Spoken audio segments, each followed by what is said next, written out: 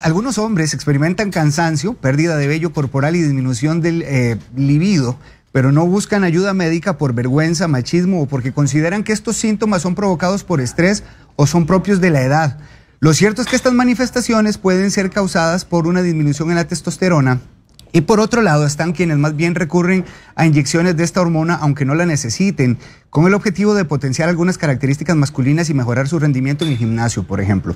Nos acompaña la endocrinóloga Mari Binocur, quien nos dirá cómo saber si los niveles de testosterona son adecuados cómo tratar la deficiencia y cuáles podrían ser los riesgos de suplementarla sin un aval médico. Recuerde que usted puede escribir sus consultas en el Facebook de Buen Día o enviar un vídeo corto al WhatsApp 6087-7777. Siempre es un gusto, doctora. Ah, igual, Muchas gracias más bien por invitarnos. Gracias a usted porque me parece que este es un tema bien interesante. Comencemos explicando qué es la testosterona. la testosterona es una hormona. Una hormona es una sustancia que simplemente se produce en un sitio y trabaja en otro, ¿verdad? Pero es una hormona, es la principal del hombre a nivel de las características sexuales. Eso no implica que las mujeres no tengamos testosterona, ¿verdad? Solo que nosotros tenemos muy poquito. Los hombres es su principal hormona que le da tus características masculinas, ¿verdad? Este, al igual que ustedes también tienen un poquito de estrógenos, que es la hormona principal de las mujeres a nivel de las áreas sexuales. ¿Dónde se produce la testosterona? Ve, realmente el 95% de la testosterona en el hombre se produce a nivel de testículos. Pero para que se produzca a nivel de testículos, siempre va a haber una jefe directa y una jefe supramayor, que es el hipotálamo, luego la hipófisis, y de ahí salen la LH y la FSH. La LH va a estimular a nivel de los testículos que se produzca la testosterona. Y la FSH más los espermatozoides. Pero la testosterona también va a tener que ver en el efecto también en la producción de los espermatozoides.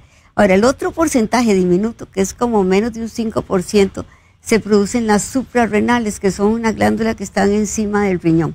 Pero eso es un porcentaje muy pequeño. ¿Y cuál es la función de la testosterona? Ok, entonces básicamente tiene múltiples funciones. Bueno, cuando sos antes de la pubertad, ¿verdad? la testosterona va a ayudarte a crecer, ¿verdad? Y que además tus órganos sexuales también crezcan. Y en el hombre va a hacer que se llene de pelo, ¿verdad? Este pelo en pecho, pelo en, desde las piernas, en la cara, ¿verdad? El pelo. Ahora, interesantemente, la testosterona a nivel de cara y cuerpo va a estimular el crecimiento del pelo, pero a nivel de, del cuero cabelludo, la testosterona puede tener también ahí un efecto más de caída, ¿verdad? Por eso los hombres tienen más entraditas y más bueno, no, pero tiene un poquito más de, pérdida de cabello a nivel, a nivel frontal. Ahora, eso a nivel de pelo, pero también va a hacer que los órganos sexuales este, masculinos crezcan, ¿verdad? Eh, los testículos eh, les va a ayudar al crecimiento lineal que ustedes tienen cuando ya es la puerta. Después de la puerta va a tener que ver con el deseo sexual, con las erecciones matutinas que pueden tener los hombres, van a tener también con la parte de la función, ¿verdad? De las erecciones, este, y también en la producción del semen, ¿verdad? A nivel, porque también la testosterona no solo estimula el crecimiento también de próstata, sino que también la salida del semen. Tiene también una, una, eso es como decir en la área sexual, pero tiene también otras funciones. Tiene funciones a nivel de la, del músculo, diríamos más metabólicas, porque a más músculo hay mejor acción de la insulina, menor resistencia a la insulina. Entonces tienen ustedes mayor capacidad de producción muscular y también a nivel del hueso, fortalece los huesos. Este, por un mecanismo indirecto de, de que la testosterona también pasa en el tejido graso un poquito a estrógeno y entonces ahí también tiene un efecto favorable en el hueso, en el hombre y a nivel de la médula ósea puede estimular la formación de glóbulos rojos, o sea, estimular lo que llamamos, bueno, los médicos eritropoyesis, pero bueno, lo importante es aumento de los glóbulos rojos. A nivel del cerebro tiene un efecto de energía y de fortaleza y también de chichas de ustedes, no, no, digamos, pero así como de rabia, hombre, masculino, o sea, como más, más impulsivos, ¿verdad? Eso también lo tiene a nivel del cerebro. Básicamente esas serían las funciones. Eh, leía, doctora, que incluso puede disminuir la testosterona con la edad. ¿Eso es cierto? Sí, es cierto. Ustedes no hacen lo que hacemos las mujeres, que es hacer una, una menopausia. Antes se decía que el hombre tenía una andropausia, pero ya eso no se habla así porque al hombre no se le, no se le suprime la testosterona, sino que después de los 40 años, aquí como todos tienen 25, no se me preocupen, ¿verdad? Pero digamos, después de los 40 años, generalmente hay una disminución leve de la testosterona muy paulatina, va entre 0.4 a 1.5% de reducción por año, ¿verdad? Pero eso no implica que hay hombres que pueden llegar hasta los 80 años con niveles todavía sea, siempre menores de cuando tenían 20 o 30 o 40. O sea, o sea, después de los 40 empieza a disminuir, aunque el pico máximo de testosterona en los hombres es a los 20. Ahora, esa disminución es tan paulatina y que siempre además hay, ¿verdad? No es como una supresión, este, que la mayoría de los hombres no la van a percibir y, por ejemplo, para que haya esto que ya realmente afecte al hombre, ¿verdad? Que ya haya una disminución que afecte, entre los 50 y los 70 años es un 2.5% de los hombres que pueden llevar a, ya realmente una reducción importante que le afecte. O en ya mayores de 70 años puede haber hasta un 5%. Pero si ves es un porcentaje pequeño, ¿verdad? O sea, la mayoría de los hombres, aunque se les disminuya la testosterona, no requieren grandes cantidades para que no funcionen. Ahora, también la testosterona no es la única hormona, es, como una combinación en lo que es la función sexual, lo que son las erecciones o la energía del hombre. Entonces, por ejemplo, tenemos hombres que tienen testosteronas muy bajas que siguen funcionando y tenemos hombres que tienen testosteronas muy altas que no funcionan. O sea, no es solo la testosterona per se, la única causante de que haya disfunción sexual, o sea, que haya alteraciones en las erecciones o en la función sexual. Pueden haber, por ejemplo, depresiones o cuadros, este, o la persona tener alguna enfermedad crónica o simplemente eh, estar pasando por problemas por los cuales no haya una función sexual adecuada sin necesidad necesariamente que es que la testosterona esté baja. Que sea, es como multisistémico. ¿Verdad? El deseo sexual y la función sexual. ¿De qué depende los niveles de testosterona en cada hombre, doctora? Depende, obviamente, o sea, casi todas las, todos los hombres van a tener un rango entre 300 nanogramos por decilitro. Les digo las unidades porque si se hacen en laboratorio, los laboratorios a veces reportan en picogramos o en otras unidades, pero en nanogramos por decilitro en promedio andan entre 300 y 800. ¿Qué hace que un hombre tenga más o menos testosterona? Aunque 300, 800 le va a dar para todas las funciones que ustedes desean, ¿verdad? Eh, los pelos y todo. Pero, ¿qué hace que a veces tengan más o menos? Eh, factores genéticos y factores sobre todo de, tu, de, de salud. Digamos, si vos tendés a ser obeso, este, la testosterona puede empezar a disminuir más, ¿verdad? Por múltiples mecanismos o el, ejercicio, ¿verdad? Si haces ejercicio, eso te mejora tus niveles de testosterona. Si hay cosas que pueden ayudar el estado de ánimo, tu salud, el no tener otras enfermedades, todo eso hace que puedas tener mejores niveles de testosterona. Decía usted que a partir de los 40 ya es como notorio, o, por lo menos que comienza ese descenso. Ese descenso que es pequeño, ¿verdad? Que vos no, vos tenés 25, ese es el problema. ¿Qué otros factores influyen, doctora, para que este descenso comience? Se dé. O sea, siempre se va a dar, siempre se va a dar una disminución, ¿verdad? Pero si el hombre, este, por ejemplo, se engorda o puede tomar otros medicamentos o tiene un mal estilo de vida, eh, eh, no hacen ejercicio, este descenso puede ser mayor. Pero si la persona tiene un buen estilo de vida, ese descenso siempre se va a dar, pero puede ser menor. Ahora, como te digo, ese descenso que se da, no siempre, o sea, en la mayoría de los hombres, como ustedes tienen un rango tan amplio, entre 300 y 800, digamos que yo tengo 800 a los 20, pero puedo llegar a tener 500, a los, está súper bien. O sea, para que ya tengan disfunción sexual, ¿verdad? Por ejemplo, tenés que andar en valores de 250 o menos de 200. Entonces, no necesariamente porque disminuya es que van a cambiar sus características. ¿Y qué enfermedades se asocian al descenso de testosterona? Ok, entonces, por ejemplo, si la persona, ya no por edad, ¿verdad? Este, tiene un problema real de baja testosterona, entonces son desde enfermedades testiculares, que pueden ser desde genéticas o hasta inflamaciones. Por ejemplo, hay gente que tuvo paperas eh, de niño y hizo una inflamación en el testículo que después le puede llevar a, a disminuciones en el adulto. O, por ejemplo, torsiones testiculares o cuando el hombre tiene el testículo que, se le, que asciende y entonces cuando asciende el testículo en el abdomen tiene otra temperatura, entonces eso puede dañar la producción de testosterona o tumores testiculares o también problemas en la hipófisis, ¿verdad? Que son los jefes directos, ¿verdad? Entonces, si yo tengo un problema en los jefes y no le dicen al testículo que trabaje, también me puede producir problemas. Este, hay otras enfermedades, las enfermedades crónicas de otros tipos pueden también afectar las producciones de testosterona en el hombre. ¿Una hipertensión, un cuadro de diabetes podría incidir también? Sí, digamos, la hipertensión per se no, pero la hipertensión a veces se usan medicamentos para la hipertensión, algunos de ellos que pueden, por diferentes mecanismos, o disminuir ligeramente la testosterona o por otros efectos disminuir el deseo sexual. Algunos antihipertensivos, entonces ahí eh, no todos, ¿verdad? Y, eso es un efecto secundario, o sea que no todas las personas que, tomen esos antihipertensivos van a tener el problema. Eh, también, ¿verdad? El, el, digamos, me decías la diabetes. La diabetes per se, si la persona anda descontrolada, ya es otro problema.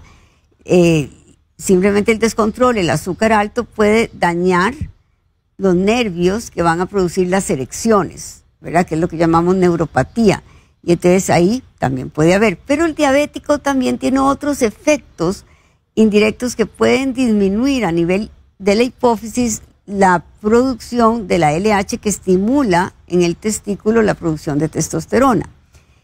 Eh, es un porcentaje, no todos los diabéticos, ¿verdad? Eh, por otro lado, también tenemos la obesidad. La obesidad es de los factores más importantes que hacen que el paciente puede disminuir los niveles de testosterona. A su vez, los niveles de testosterona pueden también estimular la obesidad, eh, sobre todo central. Pero es como un para acá y para allá, ¿verdad? O sea, tanto la obesidad puede afectar los niveles de testosterona como la testosterona puede afectar también que la persona tenga más tendencia a la obesidad. Ahora que usted mencionaba hábitos poco saludables, hábitos de vida poco saludables, ¿podrían hacer, doctora, que si hay jóvenes o adultos jóvenes que tienen estos hábitos poco saludables, que los niveles de testosterona desciendan a edades más tempranas? Ok, no es que van a descender a edades más tempranas, sino que pueden tener menos testosterona por este otro efecto, ¿verdad? Directamente. Digamos, no es que van a seguir descendiendo más temprano, sino que les va a alterar directamente la producción de testosterona en ese momento, ¿verdad? Si tienen, digamos, si se engordan, si tienen malos hábitos. Y como te decía también, por ejemplo, si la persona está muy deprimida y, y usa ciertos medicamentos, también los antidepresivos, algunos pueden también ayudarlos a que, a que baje la testosterona. Pero si el hombre hace mucho ejercicio, se mantiene activo, se mantiene delgado, es de las causas más probables que no le ayuden a que hayan otras causas secundarias de disminución de la testosterona. Aún así, después de los 40 le va a ir disminuyendo ligeramente. Hablemos de síntomas. Con todo este cuadro que ya usted nos explicaba, ¿qué es lo que comienza a notar el hombre? Ok, entonces, lo, o sea, hay síntomas inespecíficos, que son inespecíficos, de que pueden darlo cualquier otra cosa. Ahora, digamos, si uno dice la fatiga, el cansancio, inclusive depresión, ¿verdad? Esos síntomas lo puede tener las personas por cien mil cosas, ¿verdad? O sea, simplemente por la situación mundial, por, o sea, son síntomas que lo pueden dar tantas cosas que no es un síntoma para que la persona diga, como yo estoy cansado, debo tener un déficit de testosterona, estaríamos como que no, ¿verdad? Porque yo de cada 10 pacientes que veo actualmente por otras causas están cansados, todo el mundo anda cansado, ¿verdad? ¿Por qué? Porque tenemos redes sociales, porque trabajamos demasiado, porque no tenemos estilos de vida adecuados, ¿verdad? Entonces, esos son síntomas que no, no nos sugieren tanto, aunque pueden darse. Los síntomas que más deben llamar la atención es disminución de la masa muscular o sea, que realmente la persona empiece a disminuir la fuerza muscular y la, masa muscular. Otro factor que empiecen a disminuir la cantidad de vello que tienen. Por ejemplo, que si yo me rasuraba todos los días y ya empiezo a rasurarme cada tres días para que salgan pelos, o sea, que cambió su patrón, porque no todo el mundo tiene la misma cantidad de pelo, Lo importante es que cambió el patrón, o sea, que empezó a perder vellos.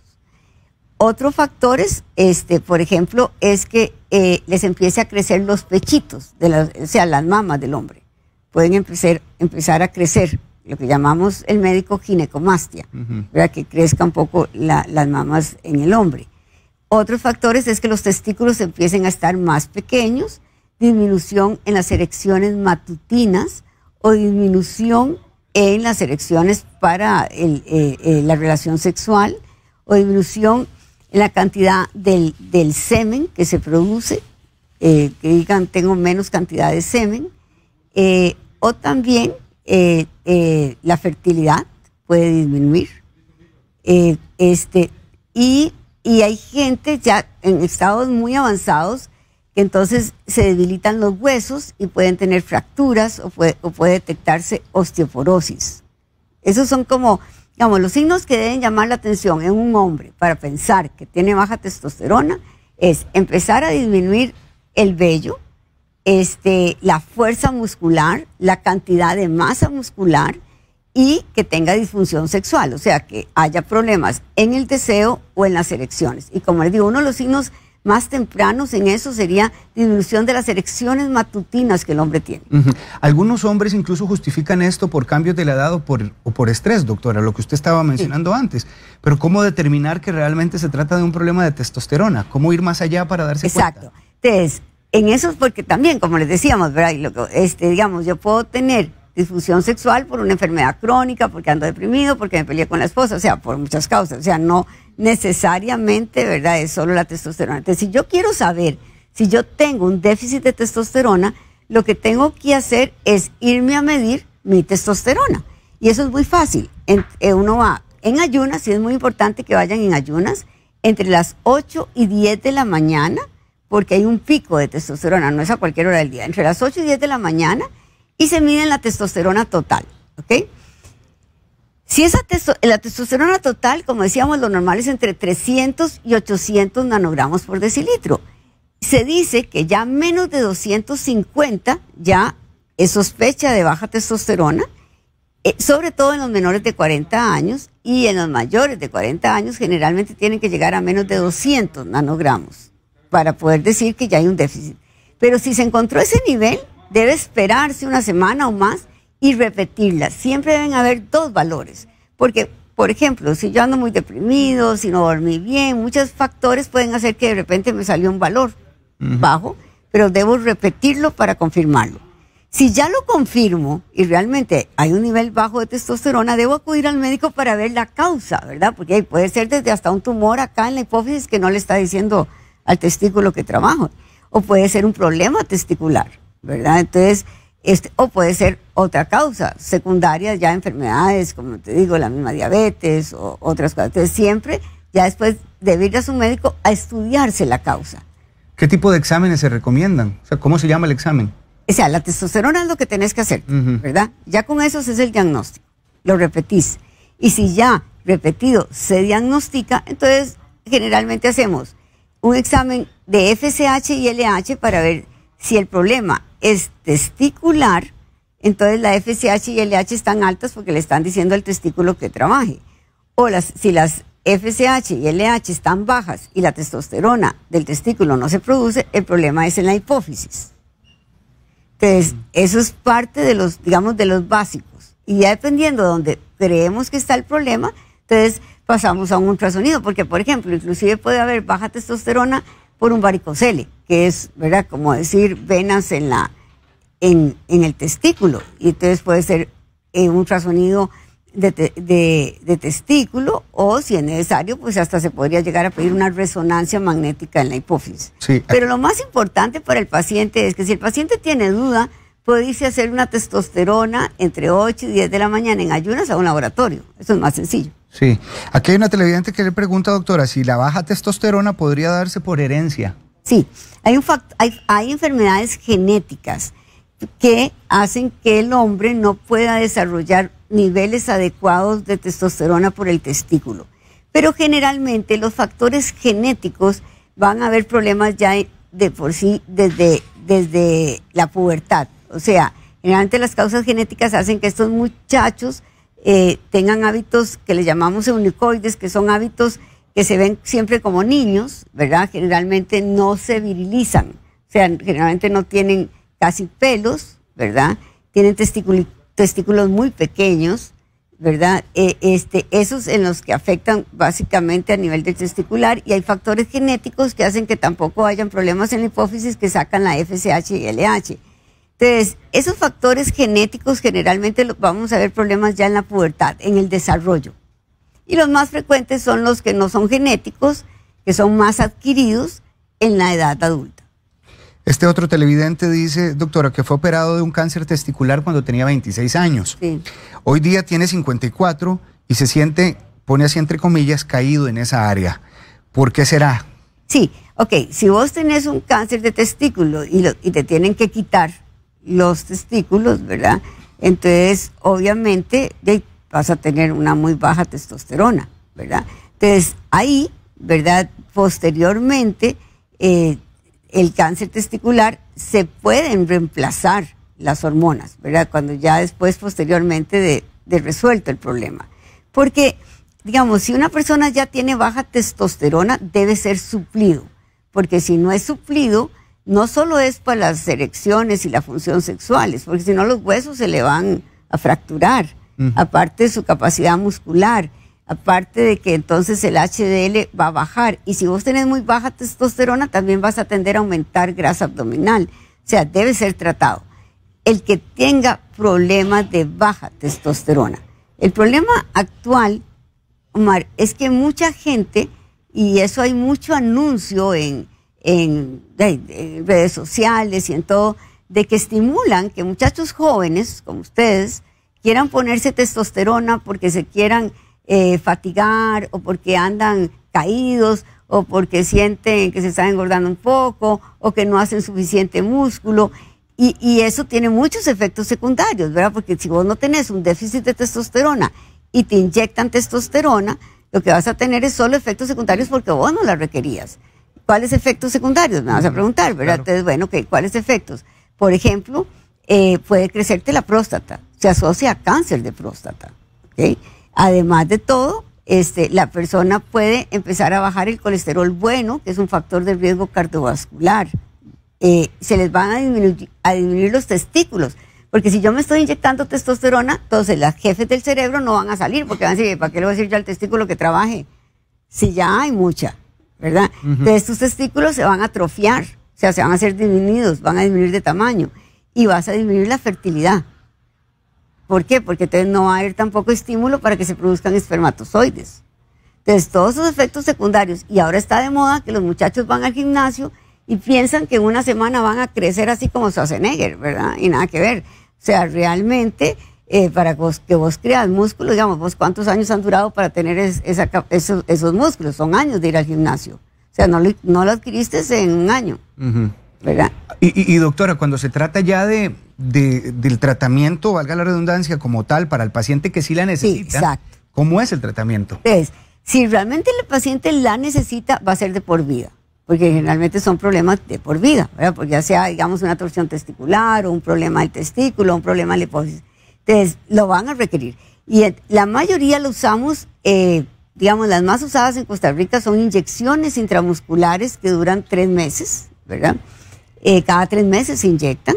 También se pueden poner geles, geles de testosterona diarios, eh, que se ponen después del baño y eso les aumenta los niveles de testosterona. Siempre debemos ver que los niveles lleguen, ojalá a 600, 500 a 600 nanogramos por decilitro, o sea que las dosis están siendo efectivas.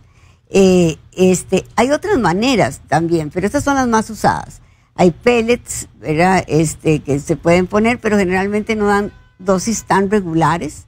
Eh, en Estados Unidos hay parches, generalmente nosotros lo que tenemos son inyecciones y, y, los geles, es lo que más usamos. Un hombre por encima de los 50 años, si quisiera utilizarlo de manera preventiva, o siempre debe existir el diagnóstico ya médico. Exacto, como te digo, no hay manera preventiva que yo me voy a inyectar porque esa persona va a disminuir niveles asociados a su edad normales y como te digo, pues con esos niveles hay hombres que sin necesidad de testosterona a los 80 años están funcionando perfectamente y con la disminución que tuvieron normal. no es que yo tenga que ponerme porque yo ya tengo 80 años o 70, no. Tengo que demostrar que tengo una disminución en la testosterona, porque no es preventivo ponérmela. No digo, si vos te la pones preventivo sería ponértela innecesariamente con los efectos secundarios, como dijimos, de crecimiento prostático, de riesgo de cáncer de próstata, con la parte de que los testículos se van a disminuir, que va a disminuir su fertilidad y que cuando se la dejen de inyectar va a ser otro grave problema. Porque cuando se la dejan de inyectar, todos esos músculos lo que van a hacer es, se les van a venir para abajo, ¿verdad? Terriblemente. O sea, van a ser, van, lo que van a hacer es pellejos. Y después de que se la dejan inyectar, duran entre 3 a 6 meses sintiéndose muy cansados porque el eje de la hipófisis y el hipotálamo sobre el testículo es lento en recuperarse. Porque si vos le diste testosterona, el eje dejó de funcionar. ¿Por qué? Porque ya no salen las jefes para decirle al testículo que funcione porque se la están poniendo externa. Y ese eje se va a recuperar en tres a seis meses, dependiendo de la dosis que se pusieron y de la cantidad del tiempo.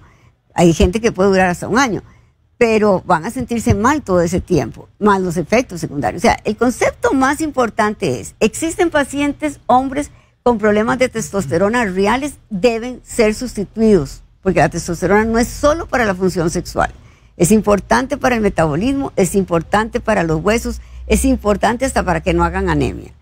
El problema es ponerlo innecesariamente, que actualmente casi que todo el mundo va a los gimnasios y lo que quieren es tener más músculo y se inyectan testosteronas con 100.000 efectos secundarios cuando no la requerían. Eso queda, muy claro, doctora. Katia dice, una caída de pelo en un muchacho de 19 años podría ser por causa hormonal. En este caso, ¿qué hacer? Exacto. Entonces, como les digo, la testosterona funciona diferente en cara y cuerpo que en cabello. ¿Verdad? En el cabello la testosterona tiende a perder cabello en el pelo, sobre todo en el área de la coronilla, que le llamamos esta área de acá, ¿verdad? En las partes de las, de, las entradas y en esta parte y acá, atrás. Entonces, este, hay, hay hombres más sensibles a su nivel de testosterona y tienden a perder más pelo a nivel de, de, de acá. Entonces, si se atiende tempranamente, hay medicamentos que pueden bloquear el receptor de la testosterona a nivel de los folículos pilosos de, del cráneo y entonces para que no sigan perdiendo pelo y, se les restaure el pelo. Eso generalmente lo ven los dermatólogos, así, entonces les dan, les dan medicamentos para mejorar la cantidad de pelo en la cabeza. Ok, Olga Guzmán, ¿qué pasa cuando la mujer tiene la testosterona en niveles muy altos? En este caso, ¿cuáles son los síntomas y qué ocurre? Ok, entonces, como decíamos, las mujeres también tenemos testosterona en niveles bajitos. Si la mujer, para que la mujer tenga problemas, sea, excesivos niveles de testosterona, generalmente tiene que tener o una poliquistosis ovárica, ¿verdad? Que es como un desorden ahí ovárico para que aumenta la producción de testosterona, o tumores productores de testosterona a nivel ovárico o a nivel de las suprarrenales. Entonces, en esos casos, el problema es que la mujer se va a virilizar, o sea, va a empezar a tener más vellos, ¿verdad? Va a tener más pelo en cara, eh, pueden tener más bigote o más barba, este, y va a tener también a niveles muy altos, pueden aumentar su deseo sexual, ¿verdad? Porque la testosterona es una hormona de deseo sexual. Por eso inclusive siempre se ha dicho que el hombre tiene mucho más deseo sexual que la mujer, porque las mujeres tenemos testosterona más bajitas cambio el hombre, digamos, la mujer se pelea con el hombre y ya no tiene nada. En cambio el hombre se pelea con la mujer y todavía quiere, ¿verdad? ¿Por qué? Porque ustedes tienen niveles de testosterona mucho más altos. Pero como las mujeres lo tenemos bajito, ¿verdad? No, no estimamos. Pero si me ponen un montón de testosterona, la mujer, claro, se va a poner más sexuada, pero con efectos de que le van a salir pelos oscuros y que va a aumentar la masa muscular y se puede poner ronca. Y si se pone ronca, ¿verdad? Digamos que ya como vamos así, ¿verdad? Como voz masculina, ya eso después, aunque se quiten la testosterona, les va a quedar la voz así siempre. Sí. ¿Y por cuestiones genéticas podría tener niveles altos de testosterona una mujer? Bueno, sí, la poliquistosis ovárica tiene un factor genético, que son esos trastornos en el ovario que tienen desregulaciones en las menstruaciones, pueden tener niveles más altitos de testosterona. Y entonces a veces no, no, no niveles tan altos para ya cambiarles la voz, pero sí para tener un poquito más de, digamos, de entradas o pérdida de cabello o más vellos o más acné. Pero generalmente hay medicamentos para regularlas. Se puede reducir un poco el nivel. Ahí el problema sería que una mujer también se empiece a inyectar testosterona, ¿verdad? En los gimnasios, porque como digo, los extremos son malos, ¿verdad? Mucha gente quisiera, no sé, ¿verdad? Digamos que quieran verse ahí como Hannah Gabriels, así, pero sin hacer ejercicio, ¿verdad? Entonces empiezan a inyectar testosterona y claro, si van a tener ese músculo mientras se, se las inyecten, pero van a tener también barba, ¿verdad? Y también van a tener voz oscura y también van a tener otros problemas. O sea, entonces ahí es donde la gente tiene que ver riesgos, beneficios. Nada es así como que ya me voy a inyectar y solo los músculos. Y después, como te digo, se dejan de inyectar y todo eso se cae. O sea, no tiene ningún sentido. Sobre todo te digo el mensaje porque a nosotros los endocrinólogos nos asusta ver cómo en redes sociales ponen, usted edad joven que le va a disminuir la testosterona, vengan para que tengan más energía y músculo. Y en los gimnasios les propician muchas veces inyectarse testosterona. ¿verdad? Y jamás. O, yo tengo consultas de muchachos jóvenes que me dicen, es que doctora, mira cómo me cuesta a mí hacer músculo. Y claro, a todos. O sea, ¿usted qué cree? Que es ir ahí una semana, un mes. O sea, no, no es tan fácil. Ah, vea lo que nos está diciendo Alvin López. Doctora, dice, ¿por qué la, no sé si así es el nombre del, del medicamento, la fluxitidina, no es conveniente tomarla cuando hay problemas de testosterona? Dice, yo la tomaba y me la quitaron.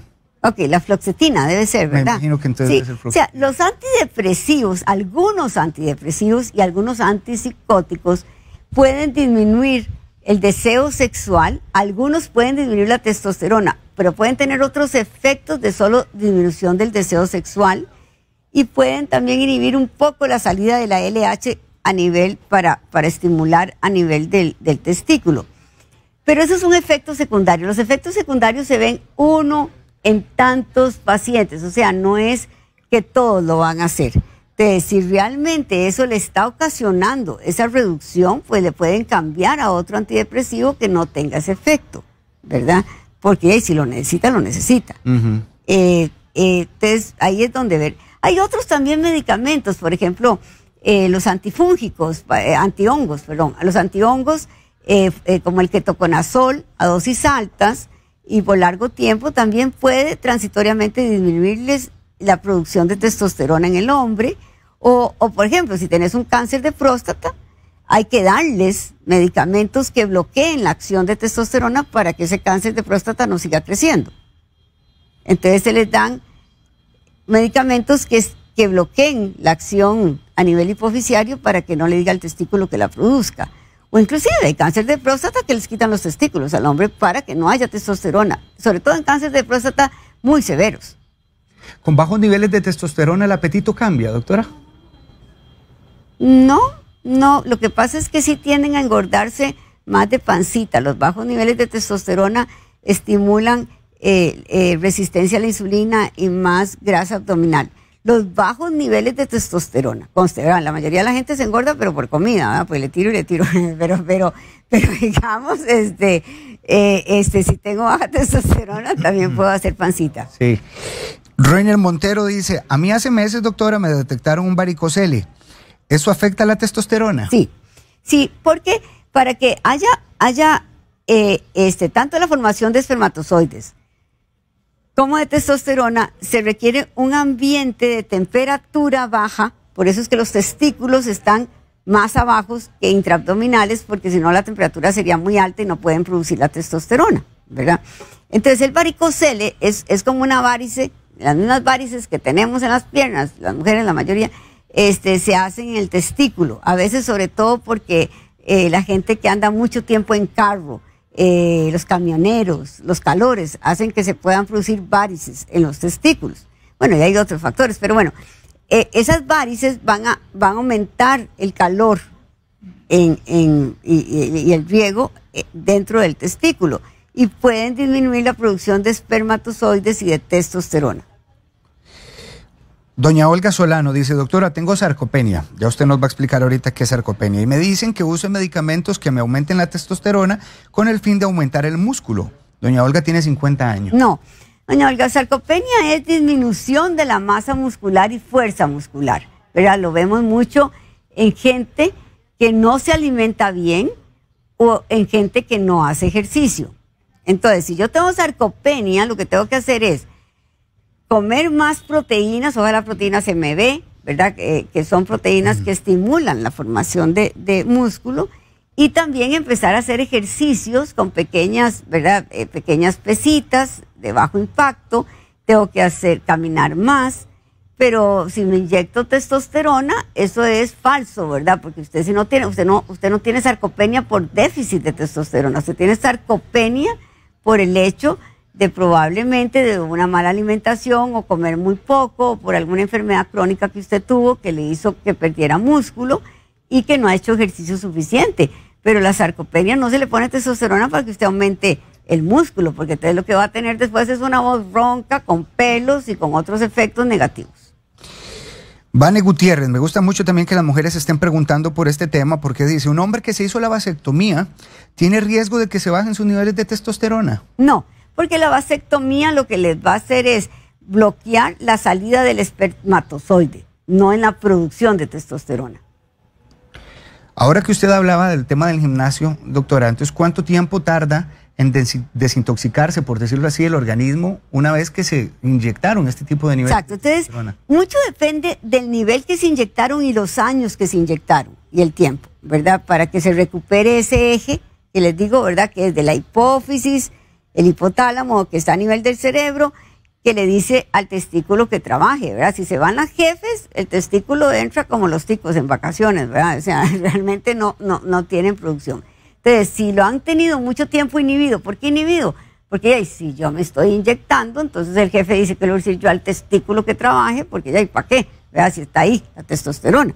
Entonces, para que se recupere, dependiendo de las cantidades que se pusieron en el tiempo, en promedio podríamos decir que de tres a seis meses. Si fueron muchos años que se pusieron, y necesariamente puede ser años.